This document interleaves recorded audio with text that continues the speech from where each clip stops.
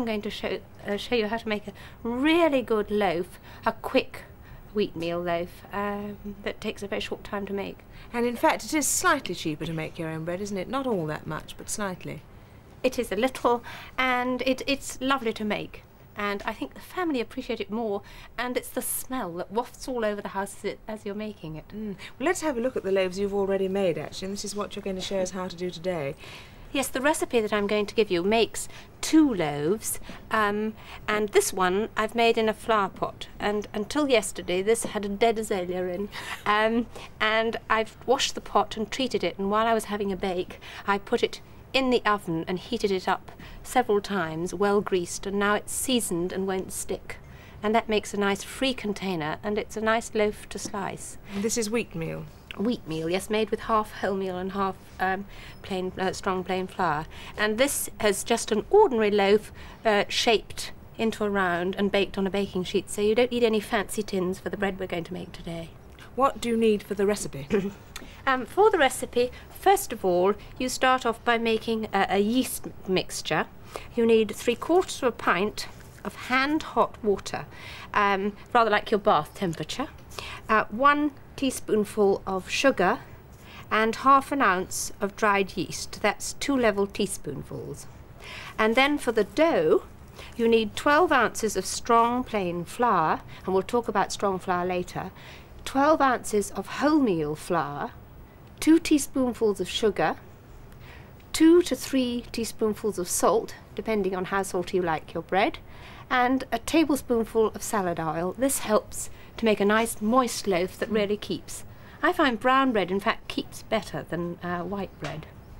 Good. Well, we start with the yeast, presumably, the yeast mixture, do we? Yes. Um, I've got uh, three quarters of a pint of hot water, mm. and to that I'm going to add the yeast and the sugar that will help it to um, grow. So first of all, the yeast, two teaspoonfuls. Now I've bought a four ounce tin here, and um, that will do several lots of baking. But if you prefer, you can buy yeast, dried yeast in a packet. That's enough mm. for the amount that we're making. Why dried yeast? Well, I believe in make, getting something that you can buy just round the corner. You can get it in any chemist shop. Um, for fresh yeast, it's really rather difficult to come by nowadays. Um, you can get it from a baker that bakes his own bread. Mm. Smell, it's very yeasty.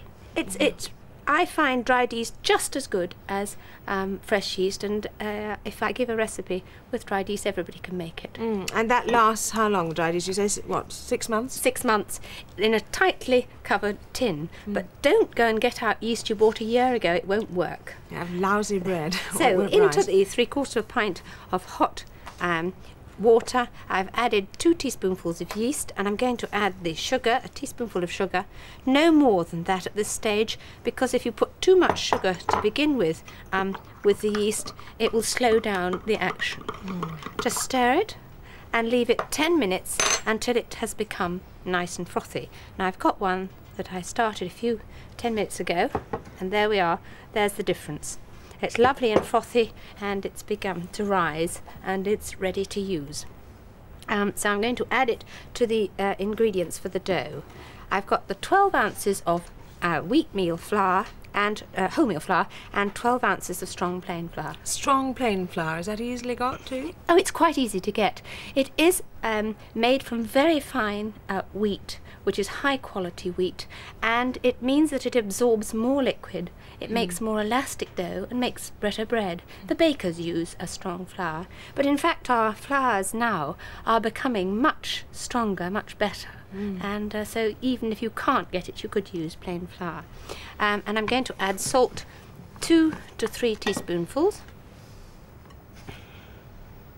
And uh, a little more sh uh, sugar, two teaspoonfuls. You don't add all the sugar, you remember at the beginning, because if you add it to the yeast liquid, um, it slows down mm. the rising.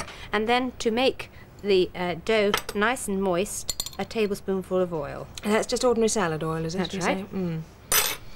And then stir it all together very much like pastry. Yes. Now, if you've got a mixer, mm. you can do this a, a, big with a big mixer. You can do this very well. So imagine this is in a in a mixing bowl, a large mixing machine.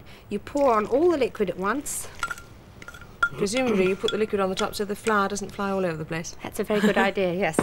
And then just um, work it together. And if you haven't got a mixer, then obviously you just do it like this. Yes, and you don't need one of these rather posh forks to do it with. You can do it um, with a wooden spoon. And you just go on until you've included all the uh, mixture. And in a moment, I'm going to turn that straight out onto the table because it's a bit difficult to handle um, in the bowl. So I'll scrape it down with my finger and then turn it straight out onto um, the table. Now, this can be a wooden board or this plastic top table is ideal. And then you can see not all the um, flour is included, and I'm just going to work it in. It's much easier, you know, to make brown bread than uh, white bread, in fact, because you've got a lot more kneading to do um, with white bread to get uh, a really good dough. But if you did want to make white bread, you can use this recipe, but then you do obviously all 24 ounces of white strong flour. That's quite correct, and a little less water. Now you can see it's still um, a little bit sticky, and with kneading, um, that will become. You're doing it a different way to the way I'd sort of recognise as kneading. Yes, I did you thought- do it at school like this? This is how I used to do it, put rather the ends daintily. over, yeah. Yes, but now if you do it pressing like that, you get much more action, and you, you get you it get, becomes much smoother. How long should you do that for? Well, just till it's smooth, about five minutes or a little bit less. There we are. Now that's ready um, to uh, be put to rise, and you let it rise till double its bulk. Now, with my particular way of life, my family, I like to cook when they're not under my feet, and so I often do this stage the night before, and then um, I mix it and put it in um, an oiled polythene bag Salad oil again. Yes. about- mm. like this, just slip it in and leave plenty of room for it to expand. And then I leave it overnight in the refrigerator. Now this really does explode a myth in a way, to my mind, in a cold fridge. In a cold fridge, yes, just overnight. And obviously, I suppose it, uh, if you're leaving it overnight, then you bring it out the next morning, do you, when the children have gone to school? And No, my routine is, in fact, I, it- it's got to come back to room temperature. So when I get up in the morning and I go in to get the milk for the cornflakes, I take out the um, dough and I put it on the side and let it just get back to room temperature. I don't do anything to it, just leave it at two or three hours, and then it's um, ready to do. by the middle of the morning, when you've done the hoovering, it's all right. And I've actually got one here that's been that's already risen. Now you remember when I put that in the bag, it was about half that size, and uh, this is ready. you do actually do it twice, do you? Yes, you do you it need twice. it twice. Lovely blob. This this the technical. You see, it's all you feel that it's all puffy. Oh, extraordinary. Yeah. So flour the table. Mm.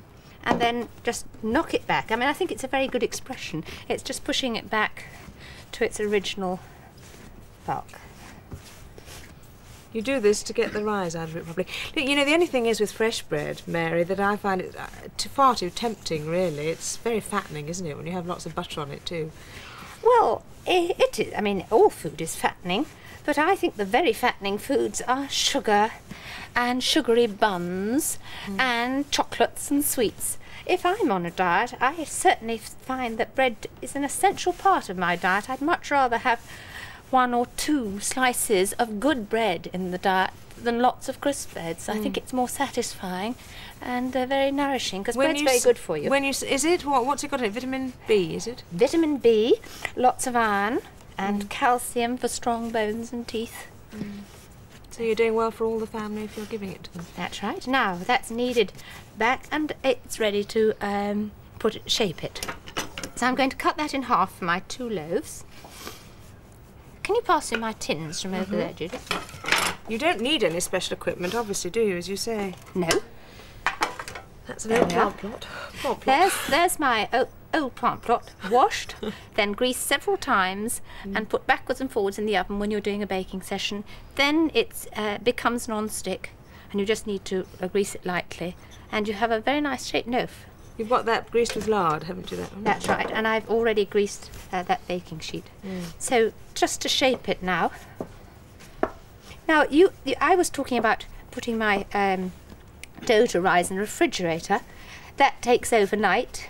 Um, if you put it in a, a warm place, it'll take about 45 minutes. um, or about an hour and a half at room temperature. So really, it, do it the way you want to. So there we are. There's uh, one loaf there, and then the second loaf into the flower pot. Shape it into the same. You can do it in a loaf tin if you wish, but I'd much prefer to do it this way. And it also it looks rather homemade, doesn't it? It does, it certainly does. What about storing bread, Mary? You can freeze it, can't you? You can freeze bread, and it freezes beautifully. Um, I usually bake enough for a week at a time and use one loaf and then freeze the rest. And I thaw it at room temperature. Now I'm going to put a, uh, a little of this. It's rather nice, and it's called cracked wheat. And I put a little bit in the bottom of the uh, flower pot. Then I put that in there. Just drop it in. And then to give it a nice shiny top, I brush with milk. And also storing bread at home, not in the freezer normally, some people put it in the refrigerator. This isn't a good idea at all. It stales more quickly in the refrigerator. It's best to put it in a, a bread crock or a bread bin or loosely wrapped in polythene. And then uh, a little cracked wheat on top. Yes, I noticed this for a pound and a half of this uh, wheat. It's only 16 pence. Yes, well, that'll last, oh, six months or a year, depending on how much baking you do. Then to make this also look rather nice, I'm going to make a cut across the top there, and then a cut across there. There we are. And then I'm going to set that to rise again. So there's the initial rising when you've mm. just stirred all the ingredients together, mm. and then a second rising. Again, you don't need to worry too much about time. I just look at this and wait until it's come to the top of the flower pot, and this one till it's doubled its bulk. And you put it into Another polythene bag, or the same yes, one? well you can have the same one, and you can uh, keep them too. Slip it in from here.